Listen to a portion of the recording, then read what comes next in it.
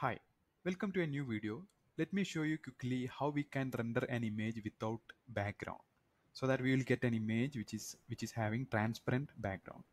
So if you go to render and render an image, we'll get an output.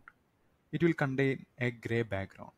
This we cannot use in inside a Word uh, document or a PowerPoint presentation.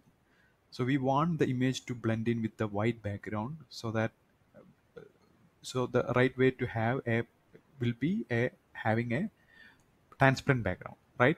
Okay. So go to render properties here on the right side and scroll down. There you can see film expand that option. Inside that you can see transparent. Simply activate that. That's it.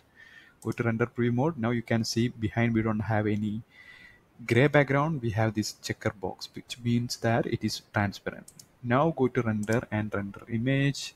Now you have an image with transparent background. This you can save in any location you want. All right thank you so much for watching. See you in the next video